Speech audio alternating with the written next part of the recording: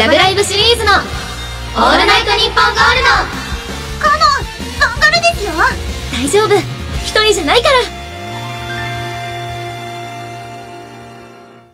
ラブライブシリーズのオールナイトニッポンゴールド。ラブライブサンシャイン、アクア、黒沢 RB 役、栗畑愛です。黒沢大役、小宮有沙です。渡辺曜役、斉藤朱夏です。ここからは、ラブライブスーパースター、 Liella のメンバーと一緒にお届けしたいと思いますよ。それでは、自己紹介をお願いします。皆さん行きますよ。ハンバーグもいい。ありがとうございます。渋谷かのん役さゆりんこと伊達さゆりです。よろしくお願いいたします。お願いします。そして、そして、続いて、うーん、逮捕ティームバー。素晴らしい声の人？素晴らしい声の人？あ素晴らしい声の人ありがとうございますタンクグ役リーちゃんことリーユですよろしくお願いしますお願いします。もう、どんどんどんどん、リエラちゃんたちが濃くなってって。声もこの時点で濃いね濃い。なんか、味付けが。濃いです、濃いです。ねえ、すごい、もうみんなの、コーレスがとりあえず、濃い。はい、ということで、ラブライブスーパースターリエラのメンバーが登場ということで、伊達ちゃんは9月以来の3ヶ月ぶり。はい。りーちゃんは8月以来の4ヶ月ぶり。ということで、えっ、と、アリサは、2人と喋るの、がっつり喋るのが初？そう、あの、この間、前回出た時に、初めてていちゃんと、なこちゃんに会って、今日二人と初めて、お初。ちゃんと話すみたいな。ご挨拶ぐらいしかしたことない。じゃあいっぱい今日はおしゃべりできればなとはい思ってますけれども。私も頑張る。よろしく。ねえ、ということで、もう絶賛ツアー中でバキバキのリエラちゃんですから、もういろいろそういね。や、そう、この間それこそさ、そうんの、ていちゃんたちと一緒だった時にね、ていちゃんになんか、え、ゴリゴリになっちゃうんじゃないみたいなうん。話をしてたんだけど、どうですか？ペイちゃんはゴリゴリでした。リーちゃんは？リーちゃんは？りーちゃんはリーちゃんは腰やば型 腰やばかった。腰やばかった。らゴリゴリ言いたい。弱いんです。その辺のお話もね、できればいいな、なんて、その辺のっていうか、まあ、できればなって。はい。ということで、それでは、まずは Liellaのお二人と一緒にお届けするコーナーはこちらになります。 Start Three Dream Liellaに関する3つのホットなトピックスを紹介してもらうコーナーです。では、準備はよろしいですか？OK ですはい。それでは、まずはインデックスの紹介をお願いします。 Liella First LoveLive! Tour 追加公演の開催決定 Liellaファーストアルバム発売決定 Liellaセカンドライブの開催が決定わダンダンダンダンすごいね、ちょっといいよ。もうすごいです。インデックスの時点ですごいんですけども、えまず一つずつお話をお伺いしていこうかなと思います。まずは何と言っても、 Liella First LoveLive! Tour 追加公演の開催が決定いたしました。ありがとうございます今ね、く、9都市を終えてるとこなんですけども、なんと追加公演がすごいね。ありがとうございます。ね。えー1月15日、16日に東京ガーデンシアターでの追加公演ということで、いやー、どうですか、心境的には。いやー結構でもその10年目の宮城公演からすぐなんですよね。1月15日16日。1週間後とかなので。もうなんかあれ？まだあるありがたいみたい まだある、ありがたいね、ありがたい、ありがたい、な本当にありがたくい。て大丈夫かなみたいなのはあるので、こう会場とかも東京ガーデンシアターってこう今までやってきた規模がちょっと大きめなのでどうなるんだろうみたいなまだわからない感じですね。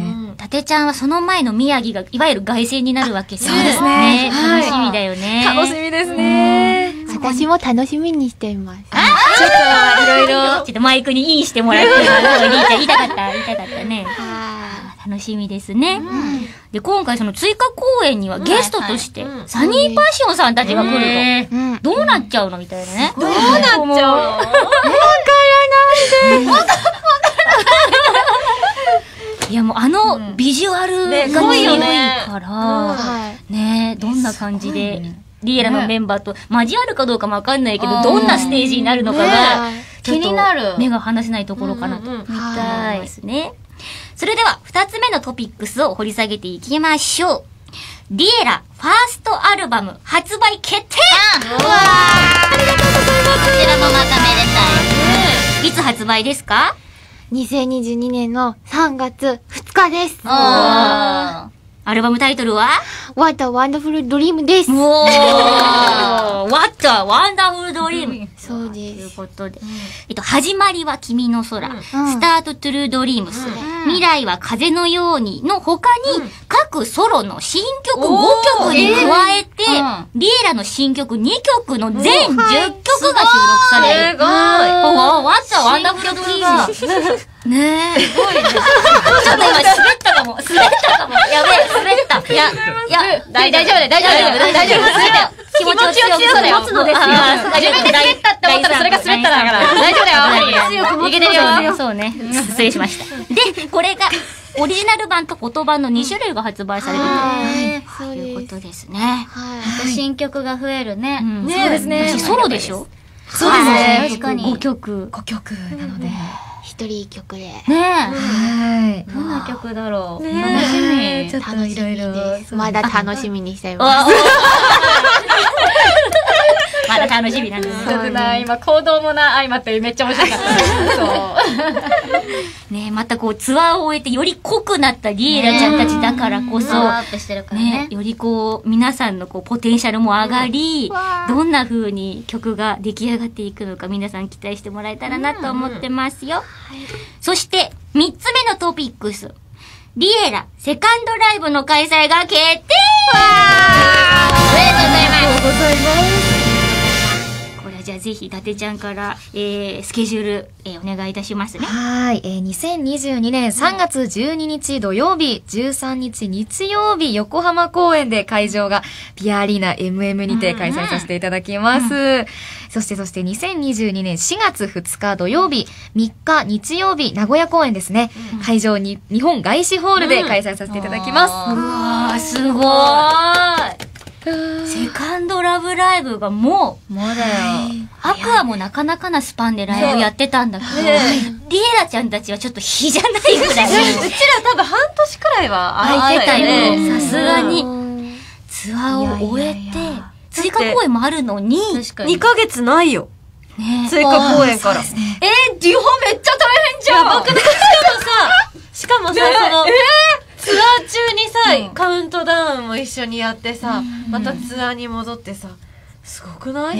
うんすごいよね。え、もうなんかあったら言ってね大丈夫です。本当に。ありがとうございます。てか、名古屋、名古屋、うちらもセカンドライブツアーで行ったところだね。そうだねホール。さって開催するカウントダウンの会場もピアアリーナ MM なんだけど、はい。セカンドライブでまた同じステージに立つっていうのは、またこう一気にぐっとね、成長したリエラちゃん5人が見えると思うと楽しみ。今まだ全然想像できないです。まあそうね。ファーストまだ終わってないですよ。永遠に終わりなき旅ですよ、これは。すごい。目まぐるしいね。うん。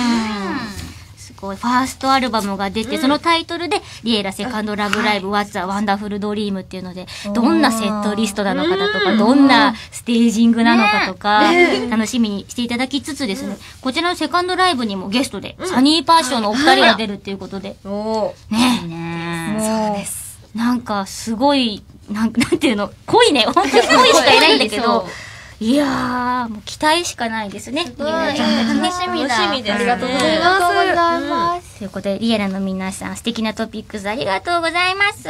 それでは、皆さんから届いたメールとおはがきをここでご紹介していこうかなと思いますよ。じゃあ、伊達ちゃん、お願いします。はい。ラジオネーム、コウモリさんからいただきました。ありがとうございます。ありがとうございますありがとうございます。12月29日放送ということで、 Liellaファーストライブツアーも9都市18公演が終えたところですね。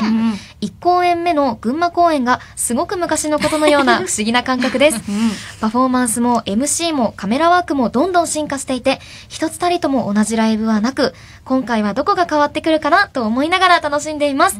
最後まで楽しませていただきますといただきました。ありがとうございます。ありがとうございます。はい、続いて、ラジオネーム、ミスターユダさんからいただきました。こちらはですね、おはがきで来ました。はい、リエラのファーストライブツアーもいよいよ終盤になってきましたね。最初の群馬公演から歌唱力やダンスの表現力が上がっていて、東京公演でのリリーベを超えるパフォーマンスは最高でした。ライブツアーの感想とカウントダウンライブの成功を願っています。ありがとうございます。みんな温かいね、メールが。うわすごい。9都市18公演ってき改めて聞くとさーね。だって、どういうこと？クリスマス ?12 月の25、あー26はいだよね。で、福井でしょ？半端ねえっす、みたいな。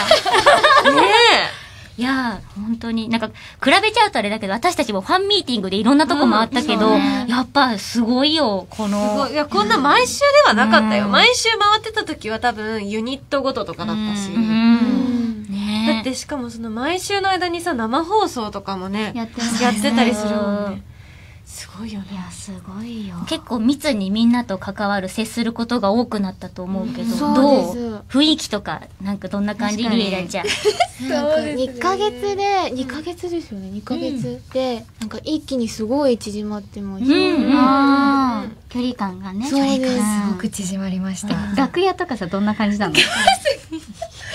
そうですね、楽屋では、あのあみんなで決まってう、ん。お味噌汁ーをそ黙って食べる時間黙ってが食べるんだう。いや、いや、黙ってない。よ。黙って。黙って。リーちゃん、バラしてくねどんな感じないのやなんか、あの、毎回一緒に楽屋でお味噌汁選んで、さゆりんは、あー、しみるわーって。もういろいろばらされてるよじゃああれだね、リエラが味噌汁でアクア納豆なんだね。納豆卵かけご飯、ね。私ダメだ、納豆は ダメだ。納豆ダメなんだ。卵かけご飯は？卵は大丈夫。卵は大丈夫まあ癖あるからね。そうだね。そうなんだ。いやいや、面白いね。本当なんかリエラ面白いね。なんかど独特で、雰囲気がいいな。ライブで、やっぱもう9都市やってきて、ここ成長したなとか感じる部分って、本人たちからある？そうですね、もうあの、1公演目の群馬公演が、あの、始まった時は、もうあの、緊張で、もう覚えてない感じで終わってしまって、でもすごく楽しかったって記憶しかなかったんですけど、最近はもう、少しその、なんだろう、ライブ始まる前に、今日楽しむぞっていう余裕が、うん。ちょっといい余裕みたいなのが生まれてきたので、気持ちの変化がやっぱ大きいかなって思いますね。リーちゃんどう？なんか最初、群馬の時はやっぱあの、初めてだから、あの、パフォーマンスやる時にずっと、あ、つ、次はこう、次はこうって、あの、ずっと考えてて、やっぱ最近から体が勝手に動いたり、あの、やっぱポイント的にみんなとのコミュニケーションの方が、あの、なんかあの、注目していますね。楽しくなるよね。ライブさ、やってる時にさ、メンバーと絡む時とかさ、ん楽しいよね。楽しいです。ね。あとはツアーということで、こういろんなとこに行くと思うんであすけど、美味しい、美味しい食べ物食べた何食べた？いただきました。さんいただいて、その、その年のご当地だったりとか、ケータリングに用意していただいたりとかで。す。ジンギスカーンなんかもうすごい、すごいもういいいいね。うん北海道。うはん。美味しかっ美味しかたっ。たです。ずっと食べてました、リーちゃん。ジンギスカンねはい。やめてくださなんかリーちゃんでも聞くと結構食べてるっていう。そうですねい。やでもそんなにでそんなに。え他他はなんか美味しかったなとかある？えーでも本当に大阪のたこ焼きとは、あの、東京と全然違ってて、東京なんか、東京のたこ焼きはカリカリの方が多くて、うん大阪の方がすごいもちもちしてる。確かに。ねえ。なこちゃんも、ね、大阪嬉しかっただろうからね。うん、みんなそれぞれ回れて、いいね。確かに。次は宮城なんですよ、リエラちゃんたち。はい。ねおすすめの食べ物ぜひ、伊達ちゃん。はい。地元なので、はい。本当にもう楽しみでしょうがないんですけれども。うん牛タン。美 味しいよ。牛タン大好き。みんなと一緒に食べたいですね、牛わタン。ーそうですね。楽しみ。ねねお腹空いてきちゃう。あぜもさ、牛タン食べたからもう毎日牛タン食べてたんだ よ。あぜ毎日牛タン食べてたって。やばいよね。リハ中からもう、その、もう口の気持ちはね中からも仙台に向かおう。口からね。口からもう食べ物からね、言ってね。ね。そうそう。まあ、そんなこんなで来年の2022年1月8日9日の宮城公演に向けてぜひ意気込みなんかを聞けたらなと思うんだけど、伊達ちゃんから。はい。もうちょっとさっきも何回も言っているんですけれども、もう地元で、しかもこう、凱旋で、もう、10年20公演目の10年目ということで、もう本当に楽しみな気持ちがあって、今までみんなと、こうなんていうんですか、築いてきた絆とかを、もう、皆さんが驚くぐらい、楽しんで、うん。素敵なパフォーマンスが披露できたらなと思っています。素晴らしい。頑張ってもらいたい。はい。そして、りーちゃん。あ、やっぱあの、まだ追加公演があるんですけど、やっぱ、あの、小宮？小宮公演？あ、あ、いや、宮城。宮城。使ってほしい。使ってほしい。お宮公園お宮私も牛タン食べに行かなきゃ。全然大丈夫。素敵すぎるわ、いりーちゃん。やめちゃめちゃよかったよ。ね宮城公演は、なんか、一番最初に、あの、私たちのスターラインズの最後の一年なので、やっぱあの、なんかね、良い締めたいなっていう。そして、あの、さゆりんの実家ということで、さもしかしてさゆりんのお父さんとお母さん会えるかも。ちょっとそれはどうなんでしょうかちょっとわからないですけど。いいね、自由でりーちゃん。いいねあやね、頑張っていただきたいなと思いますよ。ありがとうございます。ありがとうございました。まだまだいけますか？続いていきましょう。はい。ラジオネーム、双子座の男さんからです。ありがとうございます。ありがとうございますリエラのライブとか、ラジオとか生放送を追いかけていて感じるのは、リーユーちゃんの日本語がどんどん上手くなっていってるということです。最近は自分の気持ちなどもストレートに日本語で出てきてるなと感じます。そんなリーユーちゃんは、1年近く日本で生活してみて何か感じたこととかありますか？とのことです。やっぱ最初来た時、生活もちゃんとできてないの感じなんで。一人暮らしだもんね。そうです。なんかあの、リエラの、あの、ラジオとか生放送とか、あの、みんなと楽屋でいっぱい喋ったりとか、この中に、ちょっと日本語が、ちょっと、どんどん上手くなったかなって。生活してて、そうですね。あ、そしてあの、アフレコの時も最初、なんかクークーちゃんより下手だから、日本語が。あの、なんか台本を見て、ちょっとずつ勉強ができるって感じです。努力。すごいね。クークーちゃんのセリフは逆にななんかあの、あ、授業みたいな。うん。あそう。教材で、教科書みたいな。教科書みたいで。台本が教科書。いや、すごいね強い。ワードが強い。はい。本当にすごいと思うこんなにいろいろね言語が、でもなんかこの間、うん。そのホーミンちゃんとはい。リーちゃんのビリビリ、なんかあれもでもずっとさ中国語で喋ってっていう、はい。なんか忘れちゃうじゃん。やっぱどっちかどっちかみたいな、ないの？そういうのも。ありますね。あの、ずっと日本語喋ると、時々急に中国話すとちょっと、あれになるんですね。でもずっと中国喋ると、まあ、なれ、なれ、ななまた戻ってくるんだ。はい。なんかさ、ふとした瞬間とかってさ、どっちが出ちゃうの？やっぱ中国語が出ちゃうの？どこどこ？なんかふことうびっくりさつまずいちゃったりととか。か、なんか、いたとかっていうのが、いや、最近はもう日本語です。おーすごい。そうなんだ。染みついてんだ。なんか一人だけの楽屋とか、みんなトイレに行くとか、自分一人の時も、なんか日本語喋ってる。いや、でもそれすごいね。うん。いやいやいや。ねえ、適応能力。すごいですよ。ね、せそういったとこでも成長を感じますね。はい。ということで皆さんたくさんのメールおはがきありがとうございます。ありがとうございました。それではここで一曲お届けしましょう。では、リエラのお二人曲紹介をお願いします。はい。ラブライブシリーズのオールナイトニッポンゴールドタイアップ企画スプリットシングルから、リエラで、シューティングボイスお聴きいただいているのはリエラでシューティングボイスです。はい。いいですね。うん。なんか、やっぱ難しいんだけど、ね、なんか切ない気持ちにもなったりして。ね。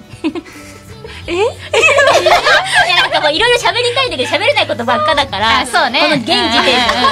今だけのね。そううんそう今は聞いちゃったけど、今はね、そう。だから、いろいろと聞いちゃったからね。微笑みをかけてみたんだけど、わわーみたいな。そうそうそうそう。あーみたいな。お楽しみにえーみみたいな。ところもあったりして。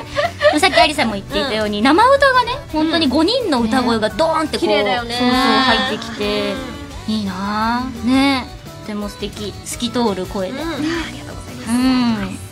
ねここら辺とかすごい。いや、難しいんだよ。サビに向かうとこが難しいの。とっても。なんかまあ、リエラのこうスプリットシングルだけど、3個で出てるものだけど、なんか全然それぞれ色が違うし、いやー、それぞれに本当に素敵な部分が垣間見れて、ね、いいなと思いました。ということで、お聞きいただきましたのは、リエラでシューティングボイスでした。月に1回、日本放送から全国ネットでお送りしています。ラブライブシリーズのオールナイトニッポンゴールド。この後、11時台は、ラブライブ、虹ヶ崎学園スクールアイドル同好会から、天王寺里奈役、田中千恵美さん、小蘭樹役、宝本明菜さんが登場。